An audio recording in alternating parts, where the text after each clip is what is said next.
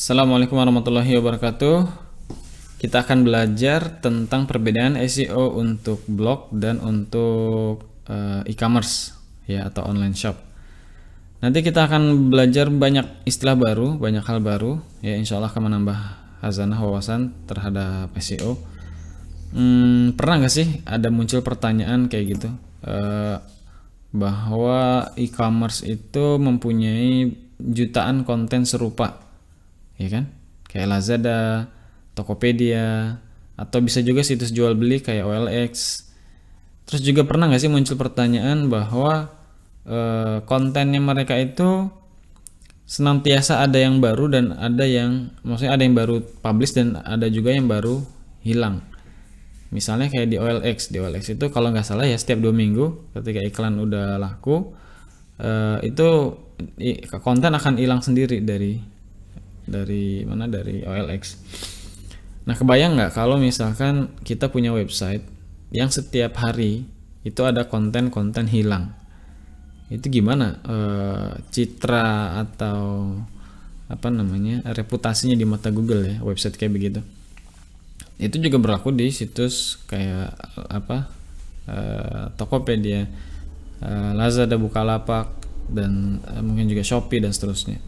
Nah nanti di sini saya juga sekaligus sedikit mereview hmm, mana dari situs-situs startup ini yang mempunyai uh, bisa startup bisa corporate ya, yang jelas pendanaannya besar, yang mempunyai SEO paling uh, apa paling mendekati kaidah-kaidah teori SEO. Karena dari sekian banyak website ini juga ada di antara mereka yang penerapan SEO-nya menurut saya kurang maksimal. Oke. Okay? Kalau untuk website blog pada umumnya itu kan kita cuma bikin konten, terus uh, ya simple lah, menghindari kanibalis, eh, kanibal konten ya kan, cannibalization, kemudian juga uh, menghindari uh, duplicate konten. Nanti saya juga akan sedikit jelasin apa sih sebenarnya duplicate konten itu. Mungkin kalau penjelasannya sedikit nanti kurang kurang apa kurang mewakili saya akan coba bikin satu video khusus duplicate konten. Langsung aja kita mulai. Uh, kita bisa cek ya di sini. Dengan keyword kemeja polos pria. Di sini muncul banyak situs-situs ya. Shopee, Shopee, Tokopedia, uh, Lazada, Zalora dan seterusnya. Di sini coba kita cek dulu saya titik dua tokopedia.com kita bisa lihat tuh. Ada 137 juta konten yang terindeks. Entah ada berapa juta konten yang serupa ya. Mungkin kalau di teori kita harusnya dia udah masuk ke kanibal konten. Tapi nanti saya akan menjelaskan kenapa eh, konten-konten yang harusnya kanibal itu bisa selamat dari Google terus OLX ada 24 juta. Lazada.com eh .co.id ya 26 juta. Ini semuanya kalau dicek kayak Shopee. Shopee tulisannya gimana? Gini ya .co.id 156 juta apalagi bukalapak. Bukalapak.com ini kalau situs kita nggak nggak mungkin begini. Nah justru dari yang kayak begini-begini kita bisa belajar banyak hal. Yang apalagi kalau kita lihat di apa situs semacam similar web ini eh, situs-situs uh, ini itu mempunyai pencarian yang lumayan dari search engine ini directnya luar biasa ya karena memang brandingnya kan dibentuk terus. Tapi di sini lumayan loh ada 20-an search berarti kalau total pengunjungnya ada. Di sini luar biasa Tokopedia sampai dengan 85 juta pengunjung per bulan. Per apa nih ya? Per bulan ya harusnya ya. Cuma ini juga kan biasanya tingkat akurasinya nggak 100% ya. Mungkin bisa ratusan juta per bulan atau bahkan lebih lagi uh, yang mana 20% nya datang dari search engine. Kalau anggaplah ini 100 juta yang datang berarti ada 200 eh, ada 20 juta pengunjung dari search engine. Itu angka yang lumayan gede banget. Mana tadi ya? Hmm, tadi keywordnya yang saya ambil contoh adalah jual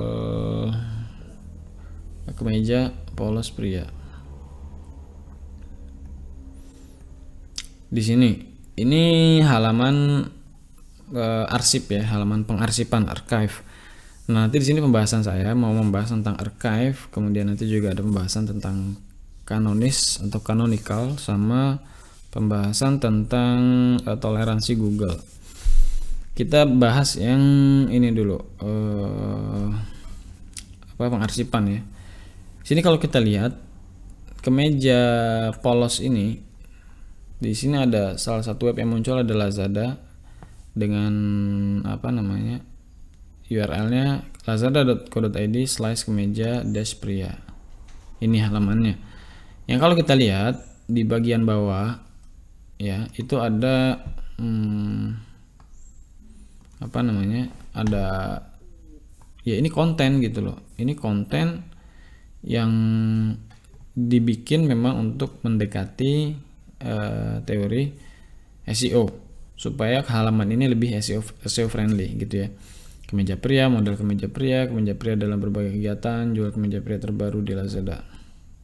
Nah uh, ini ketika kita melihat halaman kayak gini kemudian kita buka salah satunya misalnya ini ya kan?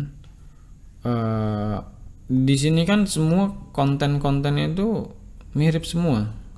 Istilah-istilahnya sama ya ini kenapa dia bisa selamat dari Google gitu Nah, jawabannya bisa kita temukan ketika kita ketik di sini Ctrl U. Nah, kita lihat uh, source code-nya. Kita bisa lihat di sini uh, di sekilas di di di source code-nya ini nggak ada masalah, nggak ada hal yang uh, apa namanya? Ya, normal aja. Tapi ketika kita buka di mana? Di halaman kedua ya di halaman kedua. Kemudian kita ini udah berubah ya URL-nya udah page 2 kita kontrol U lagi kita lihat source code-nya. Dia udah ada perubahan di sini nih apa robotsnya udah diperintahkan untuk tidak diindeks. Jangan mengindeks halaman ini dan seterusnya. Beda dengan ini ini robotnya minta untuk diindeks minta untuk dilakukan indexing. Ini yang yang belum ada page 2 nya ya ini udah ada page 2 nya kayak gitu. Uh, ini yang membuat apa si Lazada ini untuk yang halaman-halaman semacam ini menjadi SEO friendly tapi ketika kita cek di sini di halaman produknya kita kontrol U ada hal ada satu hal yang dia sebenarnya kurang maksimal ya Nah, kurang maksimalnya di mana nanti saya bahas. Uh, belum, kita belum masuk ke situ. Kemudian di sini di Tokopedia. Tokopedia dia juga menampilkan apa deskripsi yang tadi saya bilang mirip di Lazada. Ini juga ini juga bagian dari itu. Uh, deskripsi juga si Tokopedia ini beda sedikit perbedaan dengan Lazada. Ini kalau kita kontrol U.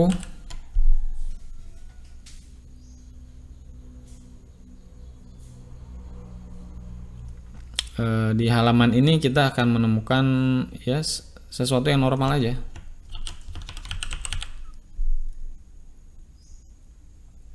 Ya hal yang normal. Ini di halaman produknya ketika kita kontrol U ini yang menarik.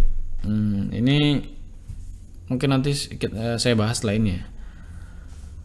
Jadi di sini secara kurang lebihnya halaman arsipnya mirip ya dengan yang tadi Lazada yaitu hmm, apa namanya? Oh kita belum masuk ke page 2 ya mana tadi page 2 nya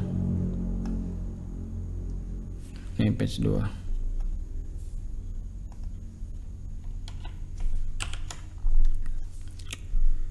page 2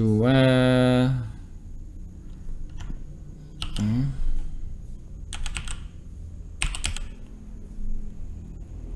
Nah, dia nggak ada nggak ada no indeksnya seperti tadi di mana di Lazada. Tapi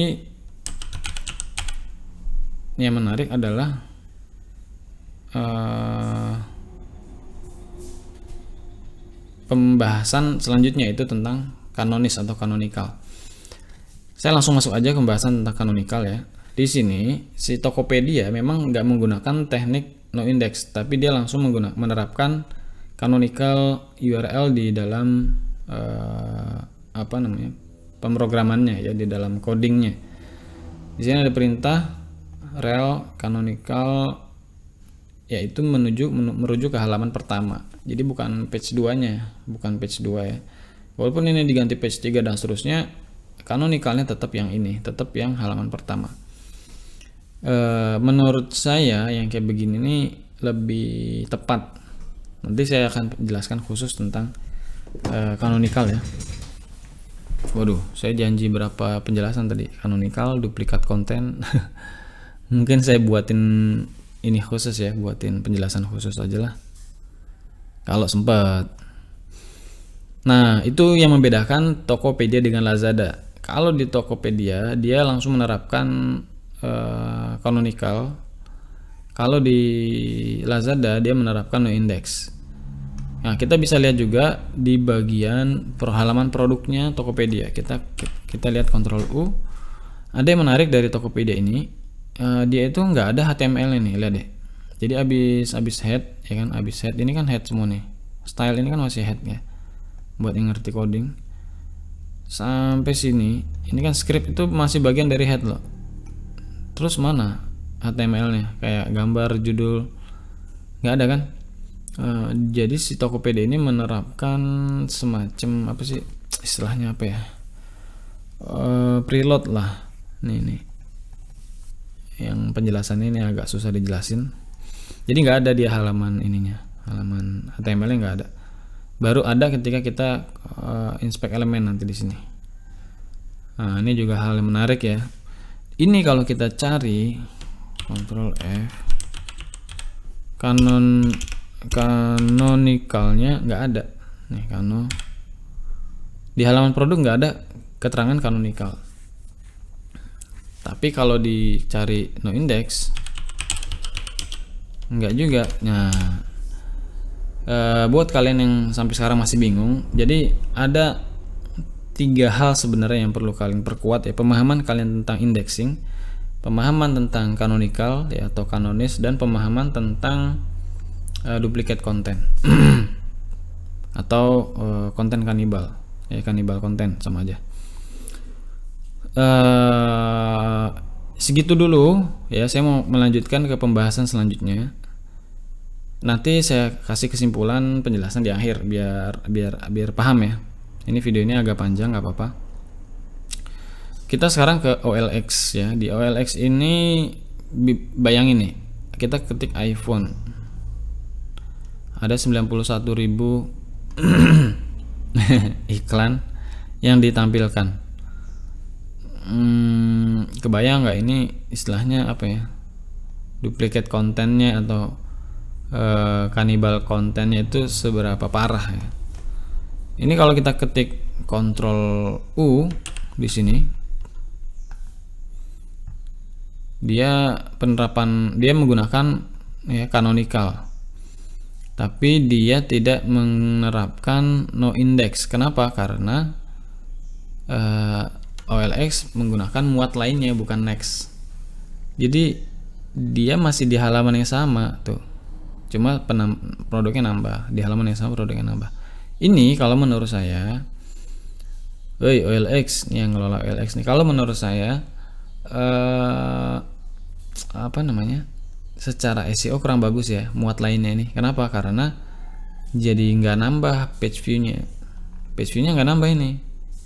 Cuma dia cuma ngebuka aja page view-nya nggak nambah. Padahal page view itu bagus banget buat SEO gitu. Nah ini sayang sekali ya nah terus eh, jadi karena dia pakai muat lainnya dia nggak menerapkan no index di untuk halaman kedua dan seterusnya karena emang halaman kedua dan seterusnya nggak ada uh, untuk halaman produknya untuk halaman produknya Nah, ini ini juga menarik nih. Di sini ada uh, aduh bingung juga nih saya. Halaman produk dulu deh. Ini halaman produk. Halaman produk kalau kita ketik Ctrl U dia pasti uh, indeks sama penerapan kanonikalnya menurut saya kurang tepat ya. Penerapan kanonikalnya menurut saya kurang tepat. Uh, dah itu fakta-fakta yang terjadi di tiga tempat ini ya Tokopedia, Lazada sama OLX. Saya akan ambil apa namanya? ambil kesimpulan sekaligus penjelasannya. Di mana dari ketiga website ini yang paling bagus penerapan ISO-nya menurut saya? Jawabannya adalah Tokopedia. Karena Tokopedia itu penerapan kanonikalnya tepat. Terus uh, dia nggak dia nggak memaksakan pakai no index ya jadi kanonikal itu secara arti kanonikal itu gini. Kalau kita merujuk ke penjelasan di Google di sini. Nah, di sini uh, yang perlu kita nanti garis bawahi di sini ya. Halaman yang dianggap Google sebagai paling representatif ya, paling oh, paling prioritas lah dari sekumpulan halaman duplikat di situs Anda. Nah, dari sini aja udah mulai jelas ya. Misalnya jika Anda memiliki URL untuk halaman yang sama. Ini kan khas ya, e-commerce banget nih. Tuh. Google akan memilih salah satunya sebagai kanonis. Jadi Google itu bisa membuat pilihannya sendiri. Mana dari dua halaman ini yang mau dijadikan sebagai kanonis. Di sini sekaligus menegaskan bahwa sebetulnya duplikat konten itu nggak apa-apa gitu sebenarnya duplikat konten itu nggak apa-apa nih kalian garis bawah ini duplikat konten itu nggak apa-apa yang tidak boleh itu adalah hmm, kopas dari website lain jadi duplikat konten duplikat konten itu sebetulnya istilah uh, konten yang sama di website yang sama dua konten atau lebih yang, yang di website yang sama mem, memiliki uh, informasi yang sama di dalam website yang sama kayak gitu. Uh, Google bisa memilih salah satu sebagai kanonis. Perhatikan bahwa halaman tidak harus benar-benar identik perubahan kecil dalam pengurutan dan pemfilteran halaman daftar tidak membuat halaman menjadi unik. Ya. Terus mana ya? Nih nih. nih. Googlebot menemukan beberapa halaman yang serupa pada situs yang sama. Googlebot memilih halaman yang dianggap paling lengkap dan berguna. Kemudian menandainya sebagai kanonis. Ini masih yang tadi penjelasan awal. Uh, terus dia akan membuat keputusan bahwa yang paling sering di crawl nanti adalah halaman kanonis, sedangkan yang duplikat tidak terlalu sering di crawl. Nah ini sekaligus penegasan lagi ya duplikat konten itu nggak apa-apa. Uh, Nah ini perlu ada pemahaman khusus lagi tentang duplikat konten yang nggak apa-apa dan apa-apa. Google memilih halaman kanonis berdasarkan sejumlah faktor seperti penayangan halaman melalui HTTP, HTTP atau HTTPS, kualitas halaman, keberadaan URL dalam peta situs dan pemberian label. Nah, jadi pemberian label itu akan me, apa namanya? akan membantu Google. Google Google ini loh web kan, halaman kanonikal saya yang ini gitu. Anda dapat menunjukkan preferensi Anda ke Google menggunakan teknik ini. Nah, ini kan. Tetapi Google juga dapat memilih halaman kanonis yang berbeda dengan pilihan Anda. Walaupun kita udah ngasih rel kanonis, Google tetap bisa ngambil kesimpulan sendiri berdasarkan algoritma yang dia punya dengan berbagai alasan, karena berbagai alasan. Nih, ini yang mau saya garis bawah ya. Jadi, uh, penggunaan no index dan canonical itu lebih di dalam konteks e-commerce ya itu lebih mantap ketika kita pakai apa namanya eh, kanonis ya kanonikal karena dia lebih relevan untuk kebutuhan yang sangat kompleks ya mewakili eh, jadi kalau di Tokopedia tadi ya untuk halaman ini halaman pertama first page dia mem, dia ngasih kanonis kanonisnya merujuk ke halaman ini untuk page 2 ada perintah kanonis atau kanonikal yang merujuk juga ke halaman pertama ini. Halaman ketiga, keempat dan seterusnya juga merujuk ke halaman pertama ini. Tapi ketika kita masuk ke artinya halaman kedua, halaman ketiga itu sama Laza sama Tokopedia tetap indeks. nggak apa-apa di dilakukan indexing. Tapi kanonisnya ke sini gitu. Uh, kasih perintah ke Google ini yang prioritas sedangkan halaman 2 halaman 3 yang duplikat konten itu itu bukan preferensi uh, konten yang di, ingin dimunculkan dan ketika masuk ke halaman apa produk yang menarik adalah kanonisnya tidak ada. Nah nol. Kanonikalnya nol. Artinya uh, ya sama kayak apa namanya karena ini kan URL udah berbeda ya. URL udah kayak gini nih. Artinya ketika halaman ini memiliki konten yang serupa dengan keyword yang serupa dan seterusnya uh, dia dia di halaman Google akan di di apa namanya jatuhnya itu jadi kanibal ya konten kanibal. Konten kanibalnya itu terjadi di sini di mana? Ini nih di semua konten-konten ini ketika kita buka satu-satu. Nah halaman-halaman ini adalah halaman-halaman uh, konten kanibal. Dan memang Tokopedia nggak ada urusan nggak ada kepentingan bahwa halaman-halaman ini, produk-produk ini muncul di halaman satu Google. Walaupun ada banyak kasus di keyword-keyword yang kita ketik di Google yang muncul adalah langsung halaman produk. Karena itu udah udah terserah Google aja. Yang kayak gitu-gitu udah terserah Google.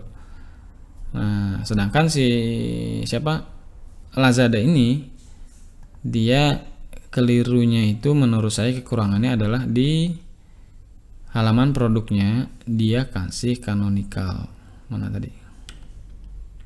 Nih canonikalnya mengarah ke URL produk juga. Ini menurut saya kurang tepat. Hai Lazada. Eh, bolehlah jadiin saya sebagai penasihat SEO nya ini menurut saya kurang tepat ya. Kayak begini nih kurang tepat. Mendingan ini nggak ada sekalian gitu. Mendingan nggak ada sekalian daripada ada terus kita kayak ngasih tahu ke Google tapi cara ngasih tahu kita tuh nggak nggak pas gitu. Uh, dengan teorinya Google tuh nggak pas. Yang hal yang sama juga terjadi di uh, eh, OLX ya. Di OLX ini di halaman apa di halaman produknya itu ada kanonis. Ya ada kanonikalnya. Ini kurang tepat. Sehingga ketika kita cek di sini di mana? Di uh, similar web ya. Juaranya ya tetap Tokopedia.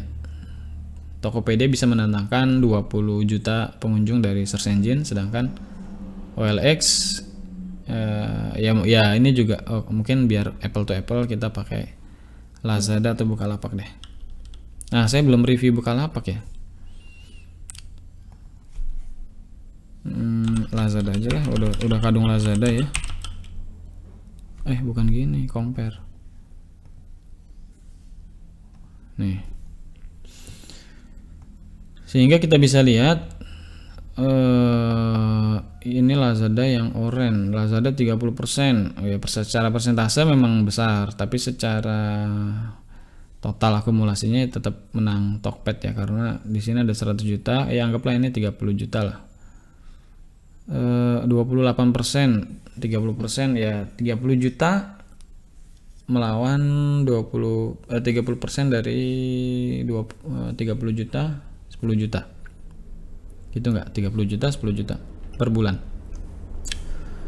Atau kita kompetitornya buka lapak deh coba. Nah, buka lapak juga udah kalah jauh ya sama Tokped ya dari sisi eh, pencarian oh tapi ini buka lama pencariannya source-nya gede juga nih. Oh karena brandnya kurang brand awarenessnya kurang. Orang lebih suka directnya langsung ke Tokped. Kayak gitu. Ya itulah uh, apa namanya sedikit ya review. Yang jelas ini yang terakhir ya yang terakhir hmm, tentang toleransi Google. Jadi Google itu kan begini, Google itu kan cara kerjanya dia ingin, nah kalau yang toleransi Google ini ini opini pribadi saya aja ya.